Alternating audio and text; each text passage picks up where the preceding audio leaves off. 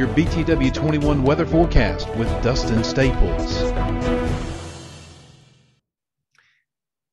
And a good Thursday afternoon to you. I'm Weatherman Dustin Staples coming to you here for BTW 21 weather forecast, and we appreciate your company. And if this is your first time watching, thanks so much for taking time out of your busy schedule to check us out here, both on social media and on TV as well.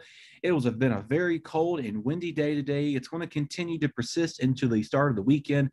However, though, the Easter holiday itself is looking phenomenal. We'll talk about that here in a little bit as well. But first thing tonight, temperatures as you do see here, are going to be staying in the mid to low 40s right there with our overnight lows staying in the low and uh, middle again 50s uh, excuse me 40s I shall say myself and the 30s for overnight lows again we sure wish it was feeling like the 50s out there with the wind it's been uh, more of a nuisance today clear skies overnight will develop to mostly sunny skies for your friday 51. There we go. We got our 50s returning for tomorrow. Still cold. Going to wake up tomorrow morning feeling like the low to mid 20s and teens out there. So another cold start to the day.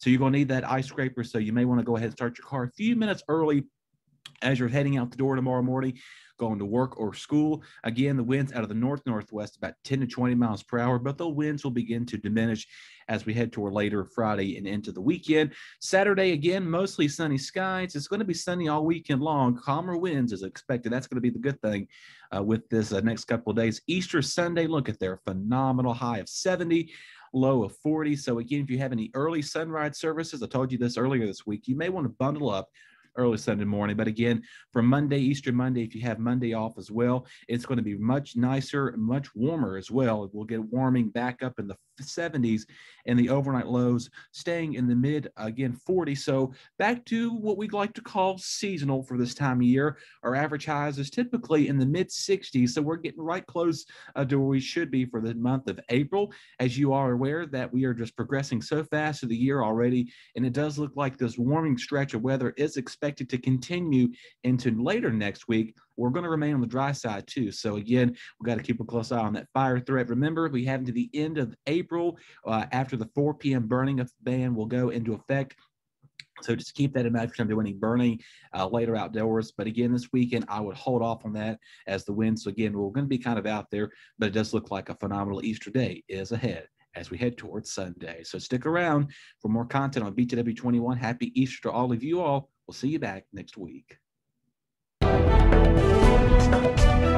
Your BTW 21 weather forecast with Dustin Staples. Hey guys, Chris Eden Jewelry here.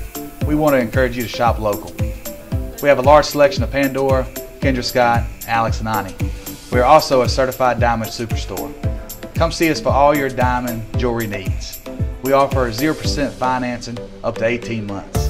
For all your special occasions, stop by and see us here at Eden Jewelry in Mountain View Plaza.